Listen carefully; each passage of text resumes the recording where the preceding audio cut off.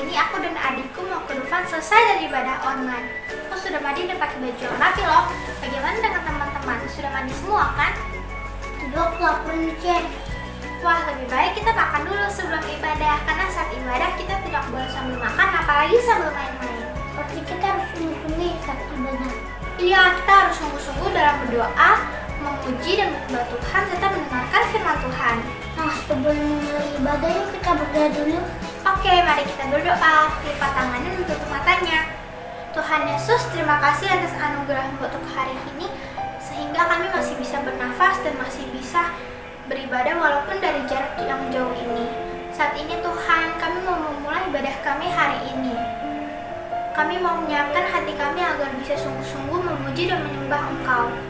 Kiranya Tuhan, Roh Kudusmu senantiasa mengurapi kami agar kami hanya fokus kepadamu. Terima kasih Tuhan, kami menyerahkan ibadah kami hanya kepadamu. Dalam nama Tuhan Yesus, kami mengucap syukur. Haleluya. Amin.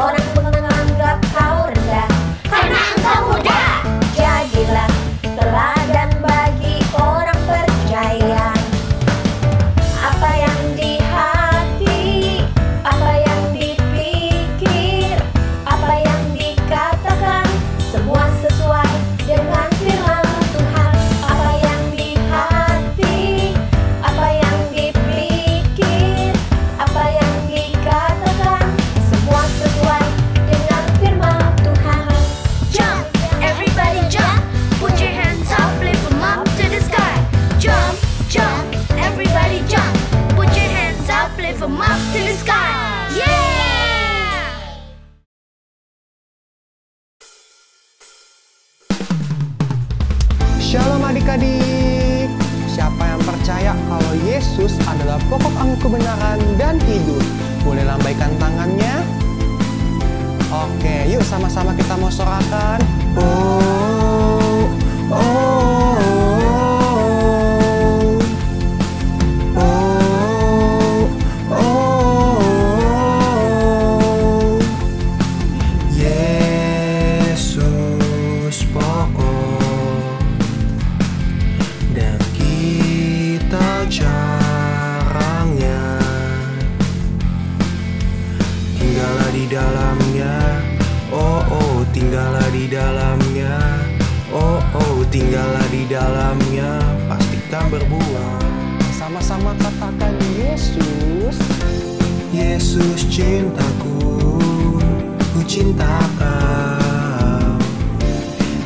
Yesus cinta semua. Oh oh oh Yesus cintaku. Ku cinta kau Tinggallah di dalamnya. Oh oh tinggallah di dalamnya. Oh oh tinggallah di dalamnya. Pastikan berbuah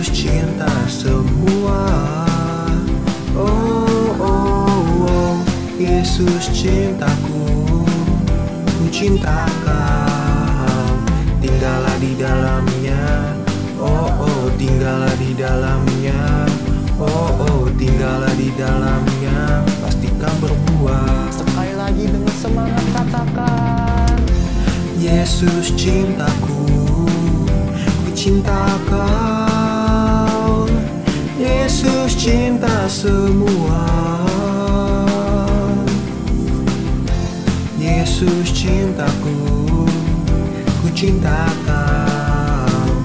Tinggallah di dalamnya Oh oh tinggallah di dalamnya. Oh oh tinggallah di dalamnya. Pastikan berbuah. Sekali lagi katakan tinggallah. Tinggallah di dalamnya. Oh oh tinggallah di dalamnya. Oh oh tinggallah di dalamnya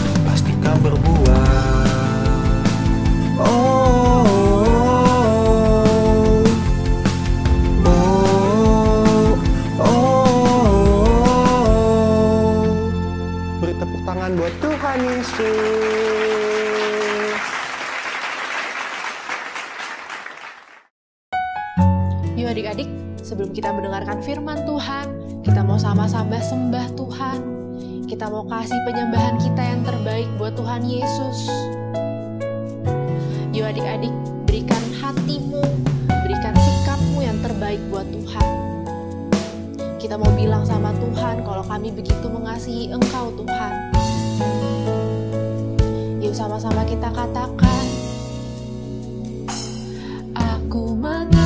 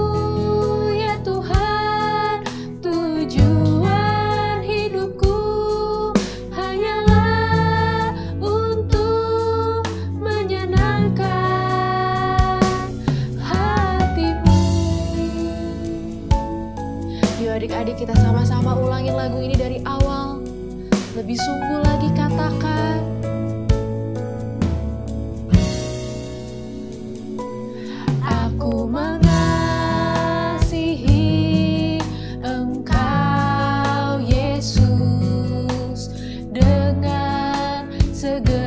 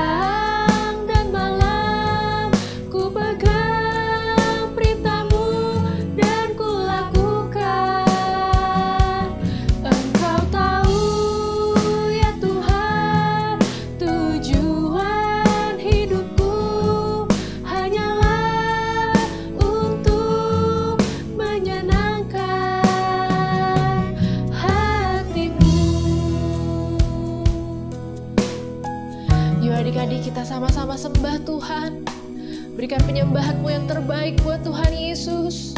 Angkat tanganmu bilang sama Tuhan kami begitu mengasihimu Tuhan.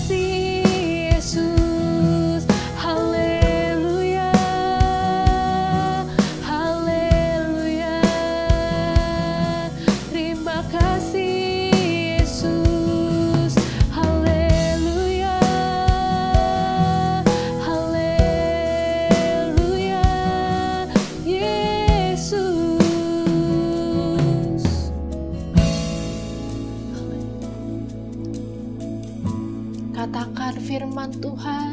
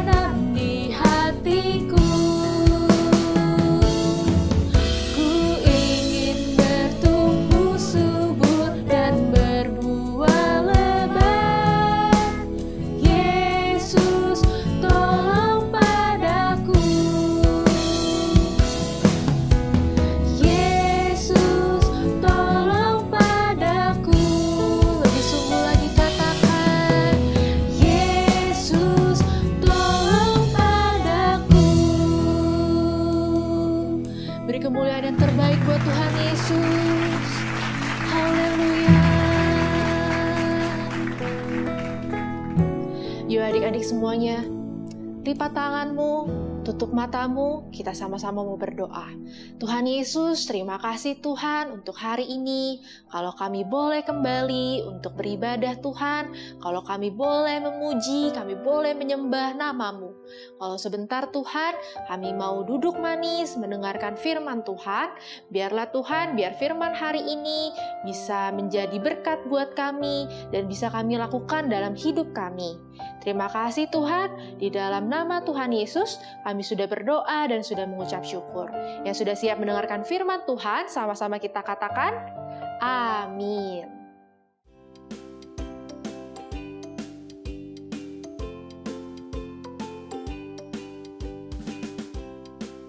Nah, Zekri, kita udah sampai Luna Park nih. Yeay! Ih, Luna Parknya luas ya. Wahananya juga banyak banget. Ayo, yuk, kalian pakai topinya. Nah, ini jangan sampai dilepas ya sama kalian supaya mami gampang cari kalian. Luna Park ini sangat luas. Kalian nggak boleh jauh-jauh dari mami supaya kalian tidak tersesat. Mengerti? Mengerti. Mami, ini rangkulnya berat banget sih. Ini, ini isinya apa? Ini isinya makanan sama Koko. Ya udah, sini-sini mami yang bawain. Oke? Eh, apa?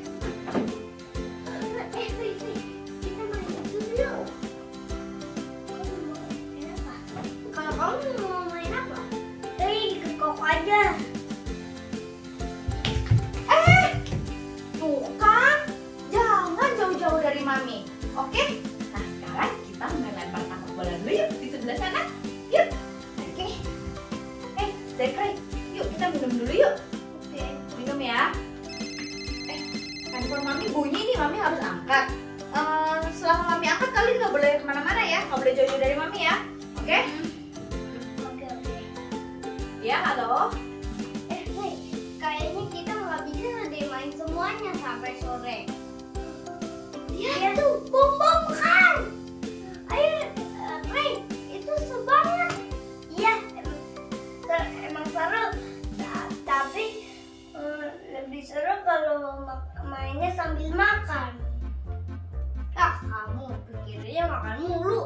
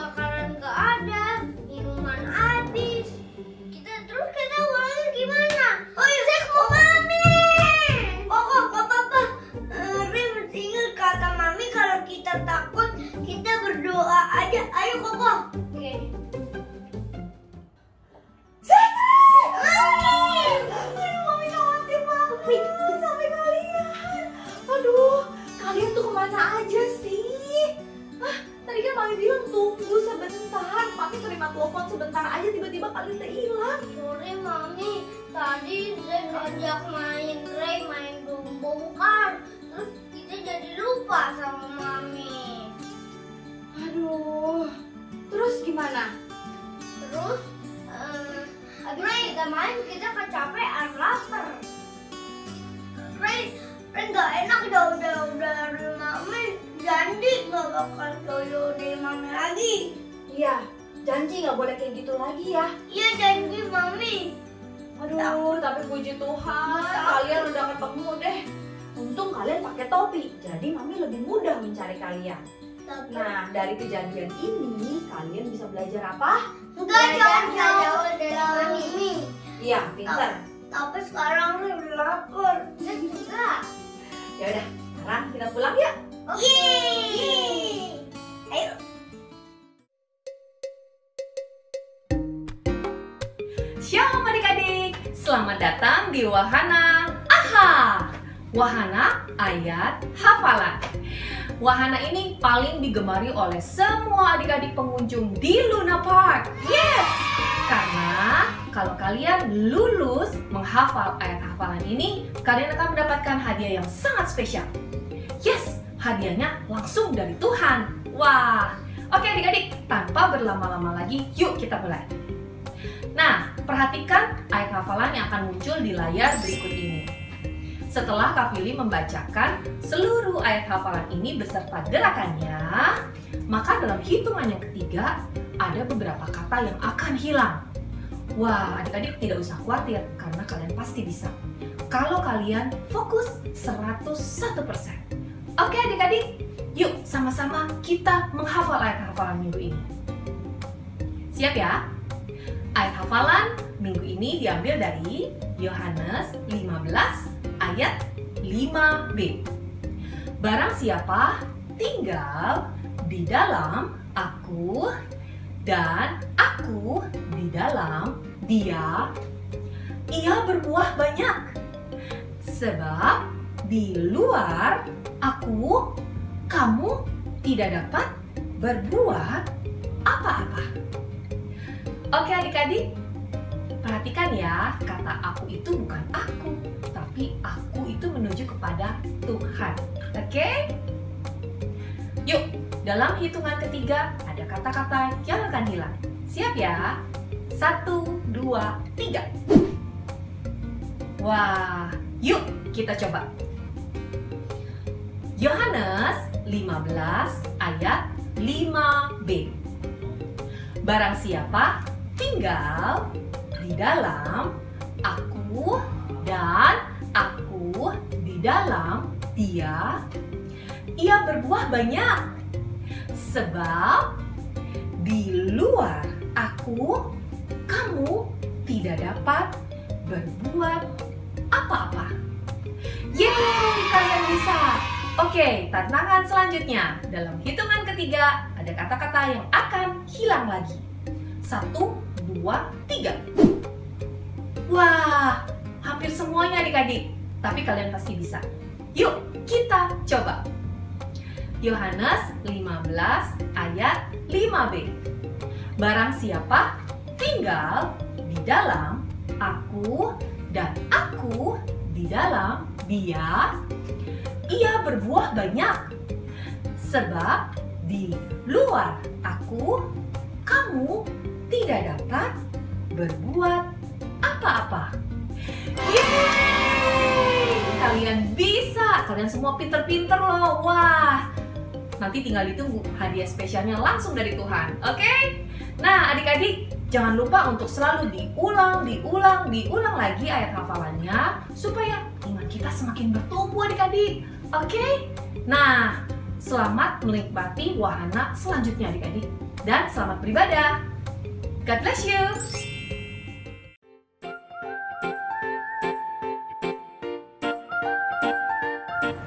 Shalom adik-adik.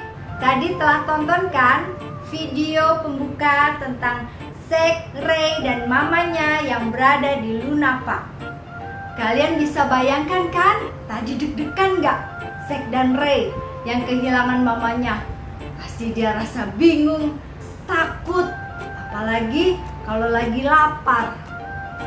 Nah, adik-adik, Untungnya, Zack dan Ray tidak lupa berdoa, meminta pertolongan Tuhan supaya bisa bertemu dengan mamanya. Puji Tuhan ya adik-adik, ternyata mereka bisa bertemu kembali. Adik-adik, kakak mau bawa kalian hari ini untuk melihat video berikut ini supaya kita belajar sama-sama untuk dekat dengan Tuhan. Yuk adik-adik, kita tonton video berikut ini. Akulah pokok anggur yang benar, dan Bapakkulah pengusahanya. Setiap ranting padaku yang tidak berbuah, dipotongnya, dan setiap ranting yang berbuah, dibersihkannya, supaya ia lebih banyak berbuah. Kamu memang sudah bersih karena firman yang telah kukatakan kepadamu. Tinggallah di dalam aku, dan aku di dalam kamu. Sama seperti ranting yang tidak dapat berbuah dari dirinya sendiri. Kalau ia tidak tinggal pada pokok anggur, demikian juga kamu tidak berbuah jikalau kamu tidak tinggal di dalam aku. Akulah pokok anggur dan kamulah ranting-rantingnya. Barang siapa tinggal di dalam aku dan aku di dalam dia, ia berbuah banyak. Sebab di luar aku, kamu tidak dapat berbuat apa-apa. Barang siapa tidak tinggal di dalam aku, ia dibuang keluar seperti ranting yang menjadi kering. Kemudian dikumpulkan orang dan dicampakkan ke dalam api lalu dibakar. Jikalau kamu tinggal di dalam aku dan firmanku tinggal di dalam kamu, Mintalah apa saja yang kamu kehendaki, dan kamu akan menerimanya. Dalam hal inilah Bapakku dipermuliakan, yaitu jika kamu berbuah banyak, dan dengan demikian kamu adalah murid-muridku. Halo adik-adik, sekarang waktunya kita untuk mendengarkan firman Tuhan. Ayo adik-adik posisinya yang siap ya. Adik-adik, firman Tuhan hari ini mengajarkan tentang perumpamaan di mana Tuhan Yesus berkata, Akulah pokok anggur yang benar dan Bapakkulah pengusahanya. Adik-adik, kakak tahu kalian tadi telah tonton videonya, tapi kakak mau terangin sedikit tentang bagaimana pohon anggur itu. Sebelumnya kakak minta maaf ya adik-adik karena ini bukan pohon anggur, ini hanya contoh aja. Nah, adik-adik ranting yang tadi kalau ia tidak melekat kepada pohonnya ini maka ranting ini akan menjadi kering dan mati adik-adik mengapa? karena tidak ada nutrisi atau tidak ada makanan yang masuk ke ranting ini nah tetapi ranting yang melekat kepada pohon akan menjadi hidup mengapa adik-adik? karena ada nutrisi yang masuk ke ranting ini. Ada makanan yang masuk ke ranting ini sehingga ranting ini bisa memiliki daun, bahkan bisa berbuah. Dan setelah berbuah, ranting ini harus dibersihkan adik-adik dari daun yang kering dan kuning supaya nanti dapat berbuah lagi dengan lebat. Adik-adik, kita itu seperti ranting dan Tuhan Yesus adalah pohonnya. Jadi, kita harus dekat dengan Tuhan. Kita harus melekat dengan Tuhan. Dan jangan kita menjauh atau jauh dari Tuhan. Seperti cerita Zack dan Ray tadi yang jauh dari mamanya. Adik-adik, kalian bisa bayangkan kan Bagaimana kalau kalian jauh dari Tuhan? Lama-lama nanti iman kalian akan kering. Lama-lama kalian sudah tidak mau lagi sama Tuhan dan akhirnya kalian tidak berbuah deh. Lalu kering dan mati. Tetapi kalau kita tetap melekat pada Tuhan, kita tetap dekat dengan Tuhan, maka kita akan diberikan nutrisi oleh Tuhan, yaitu melalui firman-Nya, kekuatan, doa, semangat, dan lain sebagainya. Dan setelah kita berbuah, kita pun harus dibersihkan supaya kita dapat berbuah lagi. Dibersihkannya itu dengan cara ya dikoreksi adik-adik kalau ada kesalahan atau ada yang kurang dari kita, kita harus dikoreksi dan diperbaiki lagi. bertekun lagi, dan terus lakukan itu sampai kita benar-benar berbuah. Tujuannya untuk apa sih adik-adik? Tujuannya ya untuk supaya Bapak senang melihat kita dan kita benar-benar memuliakan nama Bapa adik-adik. Kalian mau kan menyenangkan hati Tuhan, menyenangkan Bapa? Oleh sebab itu, jangan jauh-jauh ya adik-adik. Kita harus terus melekat kepada Tuhan. Jangan di luar dari pohon ini adik-adik. Jadi ranting ini menjadi kering dan mati. Adik-adik, bagaimana sih caranya untuk melekat kepada Tuhan? Seperti gambaran bagaimana ranting itu bisa melekat kepada pohonnya. Kakak kasih tahu ya tiga poin penting. Pertama, selalu rajin berdoa. Jadi kalian harus berikan waktu kalian untuk berdoa cari Tuhan terlebih dahulu. Kalian bisa dengan memulai untuk memuji Tuhan, ataupun kalian bisa mencurahkan isi hati kalian, atau keinginan kalian, ataupun kalian bisa meminta pimpinan Tuhan. Adik-adik, kalau kalian punya komunikasi dengan Tuhan, punya persekutuan yang baik dengan Tuhan, hubungan yang baik dengan Tuhan, adik-adik percayalah itu semua sangat indah Poin yang kedua, selalu rajin baca dan merenungkan firman Tuhan. Ini sangat penting loh adik-adik, karena ini adalah nutrisinya. Yang seperti tadi kakak terangin, bagaimana ranting itu bisa tumbuh karena dia memerlukan nutrisi, makanan. Nah, firman Tuhan ini adalah makanan rohani buat kita. Jadi, kalian jangan bosan kalian jangan kak aku nggak ngerti baca Alkitab ini apa sih? Aku nggak ngerti. Nah adik-adik kalau kalian nggak ngerti pertama kalian berdoa dulu minta tolong Tuhan berikan pengertian. Kedua kalian bisa tanya mama atau papa kalian jika ada ayat yang tidak mengerti. Dan kalian jangan hari ini baca, besok nggak baca. Hari ini bolong-bolong nggak baca. Jangan, tetap tekun tiap hari baca Alkitab. Dan renungkan. Juga kalian lakukan. Praktekkan adik-adik. Maka kalian nanti akan bertumbuh melalui nutrisi itu, firman itu. Ya adik-adik, poin yang ketiga, mengandalkan Tuhan dalam segala hal. Adik-adik, kakak kasih contoh ya. Kalau misalnya nih, hari Senin kalian akan banyak ulangan dan materinya susah. Tetapi kalian tahu nih hari Minggu harus beribadah kepada Tuhan. Jadi teman kalian ngajak, eh udahlah gak usah ibadah kan ibadah online ini nggak ada yang tahu. Udah ayo kita belajar aja kebut nih bahannya banyak. Nah karena kalian sudah melekat dengan Tuhan, sudah sering baca firman, jadi teringat. Oh iya, firman Tuhan katakan tinggallah di dalam aku. Jadi aku harus beribadah dulu kepada Tuhan, mengandalkan Tuhan dulu.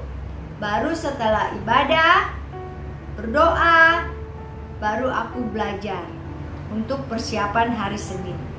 Nah, dalam persiapan hari Senin pun kalian tetap andalkan Tuhan. Walaupun kalian sudah belajar, tetap minta tolong Tuhan untuk ingatkan.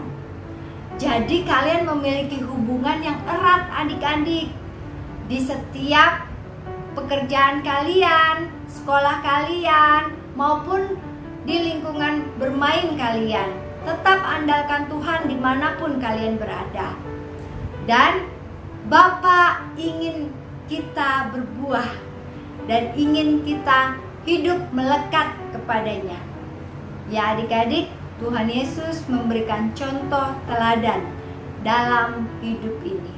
Jadi kita harus senantiasa melekat kepada Tuhan.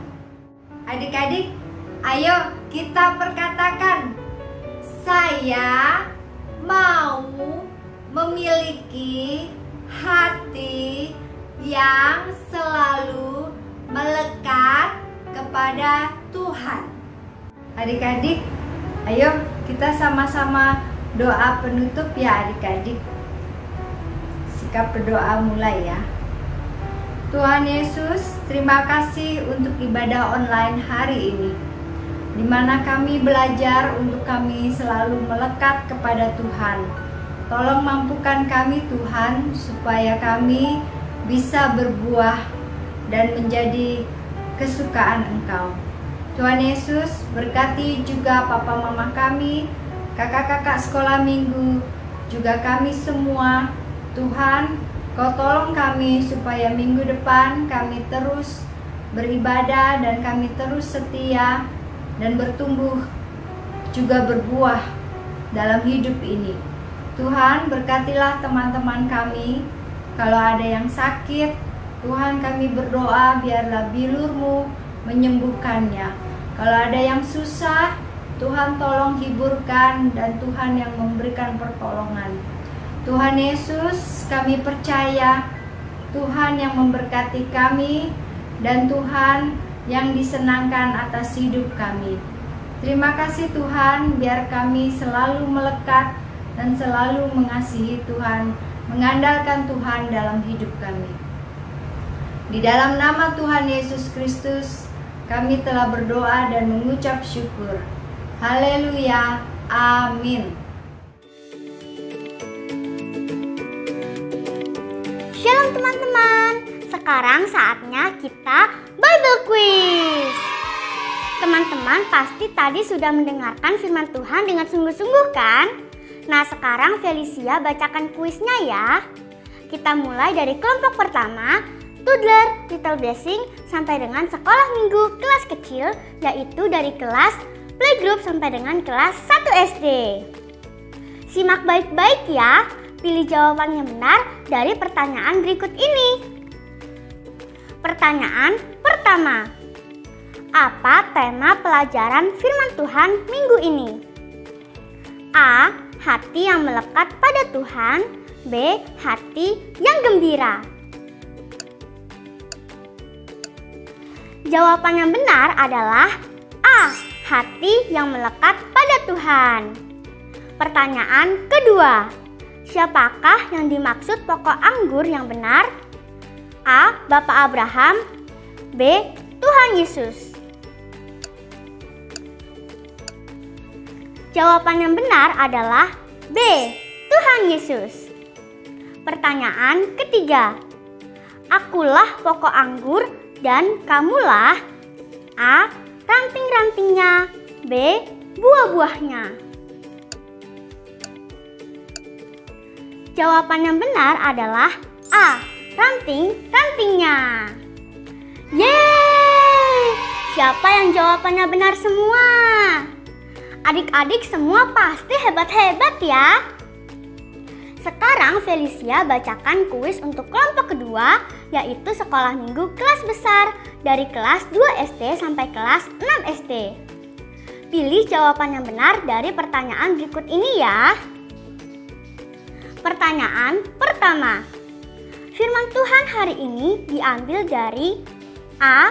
Yohanes 15 ayat 1 sampai 8 B. Matius 15 ayat 1 sampai 8 C. Lukas 15 ayat 1 sampai 8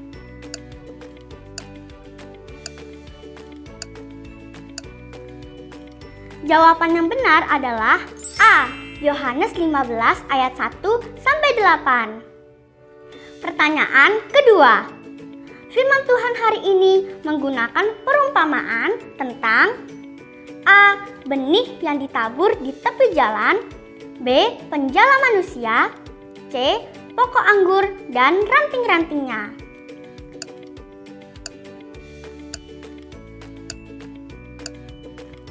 Jawaban yang benar adalah C.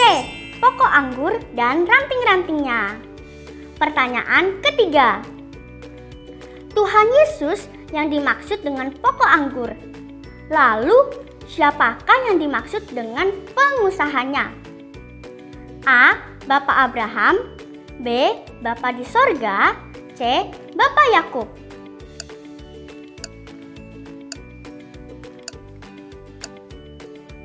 Jawaban yang benar adalah B. Bapa di sorga. Pertanyaan keempat.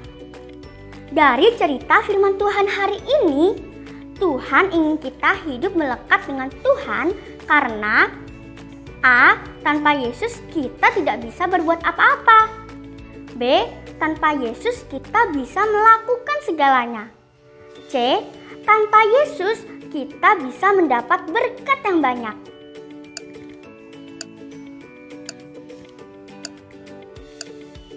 Jawaban yang benar adalah A. Tanpa Yesus kita tidak bisa berbuat apa-apa. Pertanyaan kelima. Yohanes 15 ayat 5b Barang siapa tinggal di dalam aku dan aku di dalam dia, ia A. Berbuah banyak B. Berbuah sedikit C. Berbuah anggur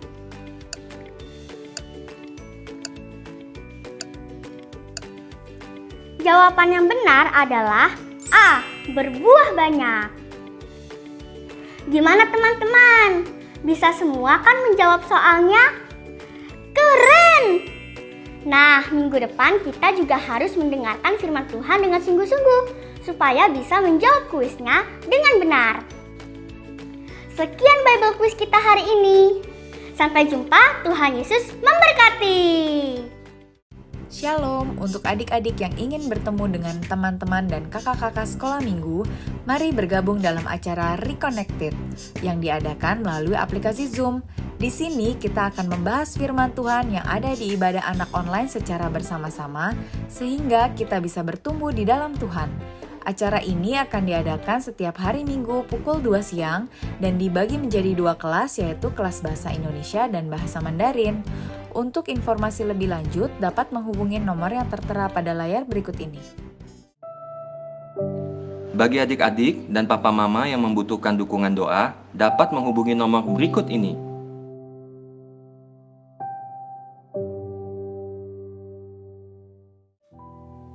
Shalom teman-teman, ibadah hari ini sudah selesai. Tapi sebelumnya kita mau berdoa dulu ya. Yuk kita lipat tangan, tutup mata, kita berdoa. Tuhan Yesus, kami mengucap syukur atas ibadah hari ini karena dapat berjalan dengan baik. Biarlah pujian dan penyembahan kami dapat menyenangkan hatimu. Tuhan, saat ini kami mau bersatu hati kami mau berdoa agar bangsa Indonesia terbebas dari virus corona dan juga krisis ekonomi. Kami juga berdoa agar penuaian jiwa terjadi di Indonesia. Terima kasih Tuhan Yesus. Haleluya. Tuhan Yesus kami berdoa untuk Presiden Bapak Jokowi dan Wakil Presiden Bapak Maruf Amin serta jajaran Menteri agar dapat memimpin bangsa Indonesia dengan penuh hikmat. Tuhan, kami juga berdoa untuk Aniko dan Upayanto. Tuhan berkati kesehatan, layanan, dan pengembalaannya. Nyatakan terus isi hatimu pada Opa Niko dan Opa Yanto. Terima kasih Tuhan Yesus. Haleluya. Tuhan Yesus, kami berdoa untuk tim medis. Berkatilah mereka agar dapat bekerja dengan baik. Dan juga kami berdoa untuk mereka dan keluarga mereka agar terhindar dari virus corona. Kami juga berdoa untuk teman-teman kami yang sedang sakit. Kiranya Engkau memberikan kesembuhan kepada mereka agar dapat menjalankan aktivitas kembali. Terima kasih Tuhan atas penyertaan-Mu dan perlindungan-Mu. Puji syukur hanya kepadamu. Haleluya. Amin. Shalom anak-anak yang dikasih Tuhan Yesus. Puji syukur kepada Tuhan kita sudah selesaikan ibadah kita pada hari ini. Apa yang kalian belajar hari ini? Hari ini kalian belajar untuk tertanam di dalam Kristus. Kita nggak bisa hidup di luar Kristus. Kita harus tertanam di dalam Kristus. Itu sebabnya kita harus semakin intim dengan Tuhan. Ya, kita harus menjadi anak-anak yang taat, anak-anak yang takut akan Tuhan. Dengan seperti itu, kalian akan terus bertumbuh di dalam Kristus. Amin. Nah, sekarang kita siapkan hati kita untuk menerima berkat daripada Tuhan. Tundukkan kepala kalian dan angkat kedua tangan kalian. Terima kasih Tuhan Yesus, kami mengucap syukur Tuhan untuk ibadah pada hari ini. Anak-anak telah belajar bahwa mereka harus hidup di dalam Engkau. Mereka harus tertanam di dalam Engkau. Engkau pimpin kehidupan mereka Tuhan. Engkau pakai kehidupan mereka untuk menjadi kemuliaan namamu. Dan saat ini mereka telah siapkan hati mereka untuk menerima berkat daripada Tuhan. Anak-anak yang dikasih Tuhan Yesus, terimalah berkat yang berlimpah-limpah dari Allah Bapa, kasih karunia dari anak yang tunggal Tuhan Yesus Kristus, dan penyertaan yang manis dari Roh Kudus, mulai sekarang sampai Maranatha, bahkan selama-lamanya. Mari setiap kita yang percaya dan sudah diberkati, sama-sama kita katakan, amin. Tuhan Yesus memberkati.